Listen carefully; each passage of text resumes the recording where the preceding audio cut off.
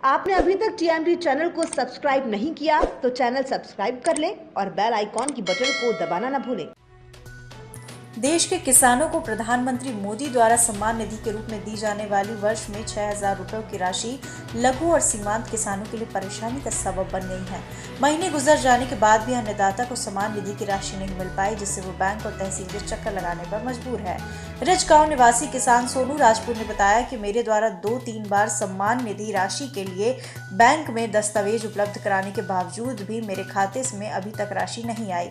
तहसील में जाते हैं तो पटवारी कहता है, आप बैंक जाकर पता करो और बैंक जाने पर जा कहता है तो बैंक वाले कहते हैं तहसील में जाकर पता करो आखिर हम क्या करें? कितनी एकड़ ज़मीन है? पौने तीन एकड़।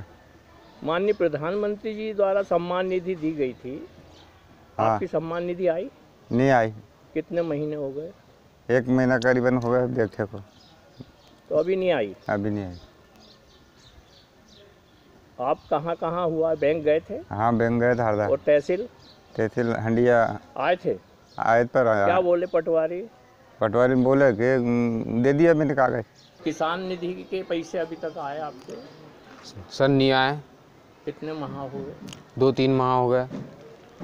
क्या बोलते हैं बैंक और तहसील में? अब क्या बोलते हैं दो तीन बार कागज़ पत्र दे दिए पटवारी जी को लेकिन पटवारी तो ऐसे बदलते हैं कि क्या वो तो क्या हो एक काम एक आदेश को पारित कर इनको तहसीलदार हाँ तहसीलदार में आप रोज ही आ रहे हैं। एक दिन हो तो बाद बने। रोज डेली चक्कर लगा रहे हैं।